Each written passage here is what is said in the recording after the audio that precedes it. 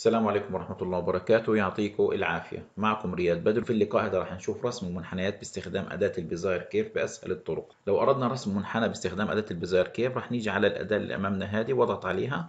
وأجي في أي مكان. وأجي أضغط بضيف للنقطة الأولى. بضغط بضيف للنقطة الثانية. الثالثة الرابعة الخامسة. وهلم جرا أضغط Enter هيك بيعتمد لي المنحنى اللي أنا رسمته. لو أردت أن أنا أرسم منحنى ذات حواف ناعمة باجي بضغط على أداة ال Bezier Curve وبضغط على أي نقطة وبضغط النقطة الثانية وبسحب الماوس وأنا ضاغط. فبيعمل لي المنحنى تبعي نفس الكلام هنا. بضغط على أي مكان بعمل النقطة وبسحب. آخر شيء لو أردت إني أنا أغلق المنحنى تبعي بضغط على زر Control و Shift من لوحة المفاتيح وعلى نقطة البداية بهيك شكل. نضغط Enter هيك بيتم اعتماد الشكل اللي أمامي وهو شكل مغلق. نقطة مهمة لازم أعرفها عند رسم المنحنيات إنه أي منحنى بتكون من مجموعة من النقاط. وكل نقطة لها ثلاث حالات. خلينا أحدد المنحنى تبعي. أضغط باليمين وأروح على Control Vertex الآن صار واضح عندي النقاط المكونة للمنحنى تبعي. نقطة البداية بتيجي بشكل مربع. عشان أقدر أحددها إنه هي نقطة البداية باقي النقاط بيجوا بشكل دائري زي ما إحنا شايفين الآن. نيجي نشوف كل نقطة إيش الأوضاع اللي بينفع تكون عليها. أي نقطة لها ثلاث أوضاع Shift وباليمين. بيجي لي الثلاث حالات للنقطة تبعتي. بينفع تبقى corner زي ما هي بالوضع الحالي هذه وضع الزاويه شفتوا لليمين بنفع تجي لي بوضعية البيزاير اللي هي تحتوي على نقطتين شد والنقطتين الشد بيتحركوا مع بعضهم. وعند تحريك أي نقطة شد بتتحرك النقطة الثانية معها تلقائيا. الحالة الثالثة اللي هي بيزاير كورنر في نقطتين شد يمكن التحكم في كل نقطة بطريقة منفصلة عن النقطة الثانية. هدول الثلاث حالات بيعطوني إمكانيات عالية في رسم المنحنى تبعي. خلينا أجي أرجعها زي ما كانت. corner الآن خلينا أمحي كل المنحنيات اللي أمامي وأجي أرسم منحنيات جديدة باستخدام الأدوات اللي شرحناها.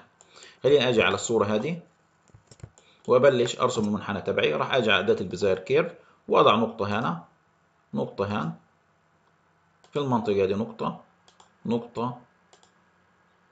وآخر نقطة لأنه الشكل عندي مغلق بضغط على control shift بضغط على نقطة البداية وفي النهاية بضغط زر enter لاعتماد المنحنى تبعي. لو عايز أعدل على نقاط المنحنى بضغط عليه باليمين وبختار control vertex وبجي على كل نقطة وبحدد مكانها المناسب.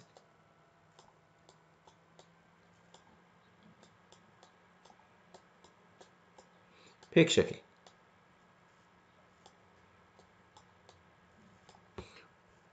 عند الانتهاء بضغط باليمين وبختار Object Mode. هاي المنحنى تبعي. خليني أجي أرسم منحنى أكثر تعقيدا من خلال الصورة هذه باستخدام أداة ال Bezier curve. أروح لأداة ال Bezier curve.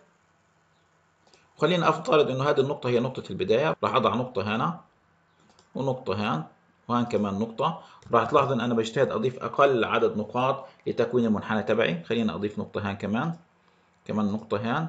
وهنا راح أضغط على control shift وأضغط على النقطة هذه عشان يتم إغلاق المنحنى. أضغط enter هيك تم اعتماد المنحنى تبعي. واضح من الشكل إن المنحنى اللي أنا رسمته كثير بعيد عن الشكل اللي أنا عايزه لكن بالتعديل على النقاط راح تكون الأمور إن شاء الله طيبة. للتعديل على المنحنى بضغط باليمين وبختار control vertex وباجي على النقطة هذه على افتراض.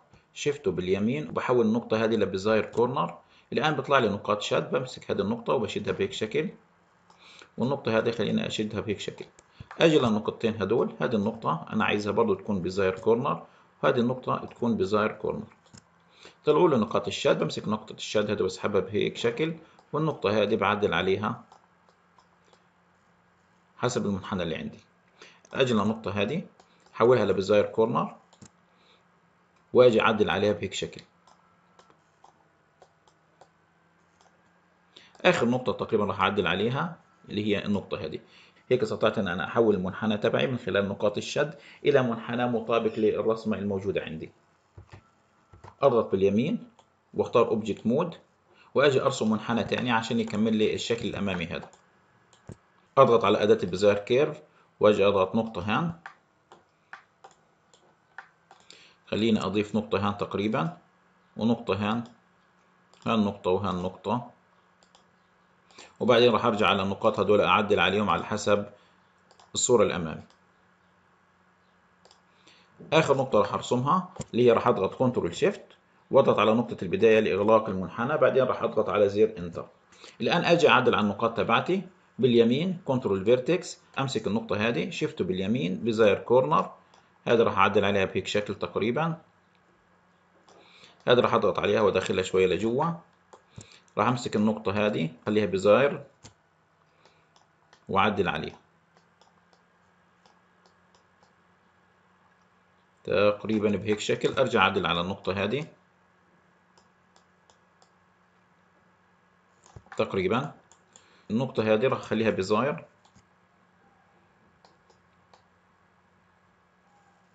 هيك شكل. النقطة هذا اللي أنا عايزها تبقى زاوية. وهذه الزاوية نفس الكلام. هذا راح أخليها بالزاير كورنر. وأمسك النقطة الشد هذه بهيك شكل. هذه نفس الكلام بالزاير كورنر. وأمسك النقطة هذه وأسحبها بهيك شكل. تقريبا.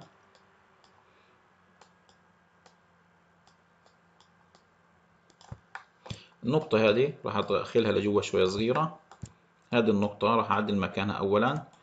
شفته باليمين بالزاير كورنر أمسك النقطة هذه وأسحبها بهيك شكل تقريبا وهذه لجوا شوية صغيرة وأعدل مكان النقطة هذه. أرجع النقطة هذه شفته باليمين بالزاير كورنر أمسك نقطة الشد هذه وأسحبها تقريبا بهيك شكل وهذه أمسكها وأدخلها لجوا شوية صغيرة. تقريبا أنا هيك رسمت المنحنى تبعي على حسب الصورة الأمامي. عند الانتهاء بضغط على الزر الأيمن للماوس واختار mode هيك أنا ببقى حصلت الشكل الأمامي هذا. ممكن أحول الشكل الأمامي هذا لمجسم إذا حبيت بحدد المنحنى وبضغط على أداة ال bevel plus بهيك شكل. كمان الشكل الثاني بحدده وبضغط على أداة ال bevel plus أحدد المجسمين. هيك إحنا استطعنا إنه إحنا نعمل مجسم من خلال رسم منحنيات باستخدام أداة البزاير كيف. يعطيكم العافية والسلام عليكم ورحمة الله وبركاته.